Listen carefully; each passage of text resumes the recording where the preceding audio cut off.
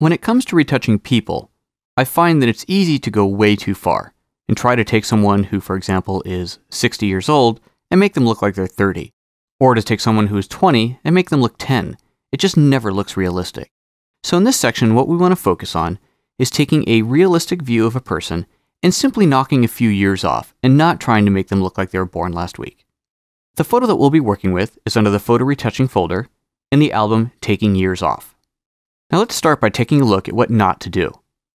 From the brushes tool down at the bottom of the viewer, we're going to select the retouch tool. And from here, we're going to do a little bit of repair work.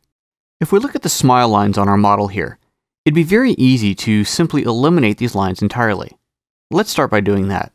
I'll make the brush nice and big by using the scroll wheel on the mouse to adjust the size, and ensure that I'm covering not just the line itself, but the whole shadow that's created by the line.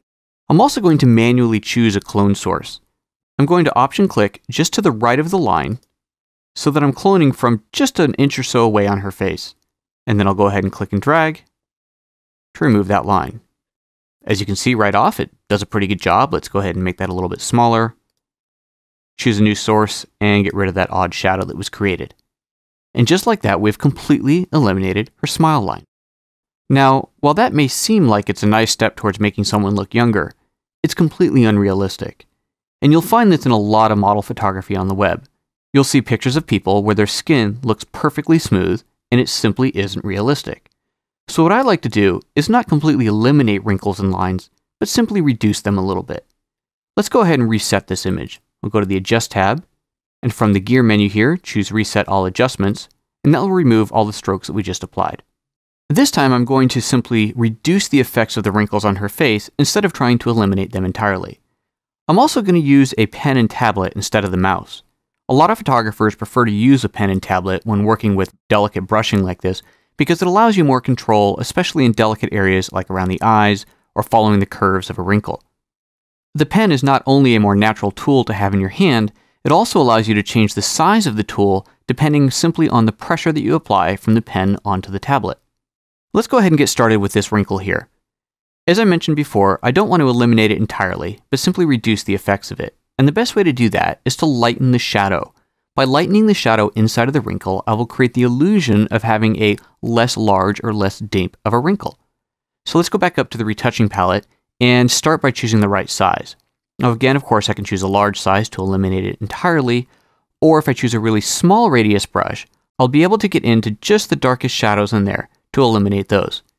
Now I also want to turn off detect edges because the edge is in fact what I'm trying to get rid of in here, and I also want to take the opacity down. I don't want to eliminate it entirely, I just want to reduce the effects of it. So let's take it down to about 0.2 or 20%. I'm also going to let Aperture automatically choose the clone source for this. Now, as I go down and click and drag over that line, you'll see as I push a little bit harder or a little bit softer on my pen, that the width of that line increases and decreases. Now, as you can see, that's pretty good. We reduced that line dramatically. In fact, if I turn the retouch off and on, we can see the overall effect of that. And if you want to apply it a little bit heavier, simply go back over it again and just brush in the areas that you want to reduce. Let's do the same thing on this line here. Once again, I'll simply follow the line there, not completely eliminating it, but simply reducing the effects of it. And if I find that I can't get quite enough strength on there, I can always bring the opacity of that brush up a little bit and try it again. Perfect. I'm going to take it back down a little bit and go over some of these other areas. For example, the wrinkle on the forehead, under the eyes, and once again, you can see that by using the pen, I have much more control than I would if I was using the mouse. Let's get some of these around the cheeks here as well. And under the other eye. Don't forget the wrinkles above the eye as well. Those can be quite telling. Let's see what we've done so far. By simply toggling the retouch tool off and on, we can see the before and after of the effect. And as you can see, we've taken a few years off of this woman without dramatically changing her overall appearance. Now, of course, it's up to you how many of those wrinkles you eliminate or how far you go to take them out. But again, in my personal taste, I find that it's better to simply reduce the look of aging as opposed to trying to eliminate it entirely. And what you don't want is to end up with an image where the person looks completely unrealistically young. The retouching tool is not the only tool that we have for cleaning up skin. If you go back down to the brush tool, you'll find another one called skin smoothing. This is a great tool that allows us to very simply smooth out skin to get rid of really small wrinkles or texture on the skin that we may not like. Now for this particular tool, I find that turning off detect edges is almost necessary. If you leave that turned on, you can very easily end up with some strange pixelization across the image, which we don't want to see, so I prefer to turn that off. I'll also leave the strength all the way up at 1, or 100%, and you'll see why in just a moment here. Let's go ahead and get a nice big brush size. And we'll take the softness down a little bit, because I really do want to cover the whole face in here. And I'm just going to very quickly start brushing over her face. Maybe that brush is a little bit too big, on the Wacom tablet, there's actually a slider that's kind of like scrolling your finger on the scroll wheel on a mouse that I can move up and down to affect the size of my brush. Let's go ahead in here and brush in some smoothing over the wrinkles on the face, the chin. Let's get underneath the chin a little bit, some on the nose and under the eyes, and of course, let's not forget about the forehead.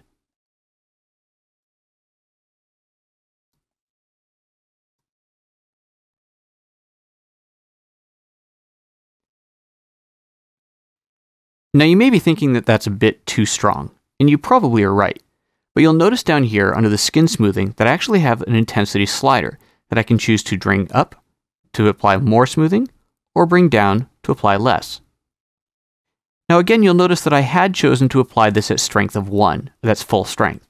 And if we choose to look at the mask that was just created here, you'll see that we have applied this mask over the whole image at quite hard intensity. But the great thing about working this way is that it's very easy to scale this back. You already saw that we could scale the intensity back by simply dragging the intensity slider. But what about scaling back the mask itself? We can take the erase tool, and again take the strength down this time, make the brush nice and big, and choose to simply brush out some of that intensity. And you'll notice that as the mask gets darker in there, the intensity applied to the overall image will be less. We can go back and preview this on the image itself and see what that looks like. If you want to bring the intensity up a bit to get a more smoothing effect, but then grab the eraser and erase some of that effect out, you can do that as well. Let's take the strength up a little bit more and brush around the face. If you have delicate areas you want to be very sensitive of, for example, the eyes or the lips on here, we can take the strength all the way up. Let's make the size a bit smaller in here. And let's turn Detect Edges on. With detect edges turned on, and perhaps a smaller brush would be in order, as we click and drag over here, you may not see much happening yet, but watch what's going to happen in just a moment as I switch over to take a look at the mask view. As we switch to view the brushstrokes, you'll see that we have erased the mask area without affecting the skin outside of the lips. We can actually continue to paint in here while looking at the mask, without even bringing up the photo, but the edge detection is still looking at the photo itself. This will allow us to get very, very exact or very precise in the areas that we're brushing in or out. Now, at any time, if you find some of these strokes are a little bit distracting, or perhaps you can see these lines in the image itself, you can always grab the feathering tool and then go in here and feather the lines between those strokes using the feather.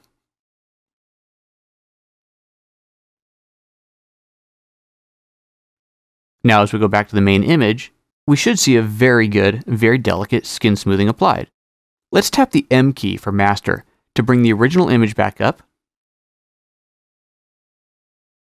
and go back to the retouched one.